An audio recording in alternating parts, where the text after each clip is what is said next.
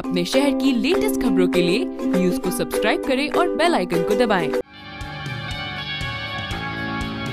अलवर लोकसभा क्षेत्र से भाजपा प्रत्याशी महंत बालकनाथ योगी आज सुबह 11 बजे के करीब दिल्ली जयपुर हाईवे से होते हुए हरियाणा राजस्थान बॉर्डर पार करके राजस्थान के सिंह द्वार कहे जाने वाले शाहजहापुर कस्बा से अपने चुनावी रोड शो करते हुए अलवर लोकसभा क्षेत्र के फौलादपुर, बहरोड, भूनगढ़ा, अहिर, वह आदि गाँव पहुँचे।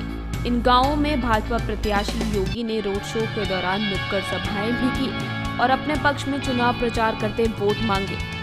बहरोड से योगेश दवे की रिपोर्ट। को प्रधानमंत्री बनाना चाहते हैं जिस प्रकार से पिछले पाँच वर्षों में हमारे देश के प्रधानमंत्री आदरणीय नरेंद्र भाई मोदी जी ने इस राष्ट्र को आगे बढ़ाने का काम किया, आतंकवाद को समाप्त करने का काम किया, भ्रष्टाचार को समाप्त करने का काम किया, गरीब के चेहरे पर मुस्कुराहट लाने का काम किया, गरीब के आँसू पहुँचने का काम किया, हमारी राष्ट्र को सुरक्षा के माध्यम से बहुत मज़बूत बनाने का काम किया।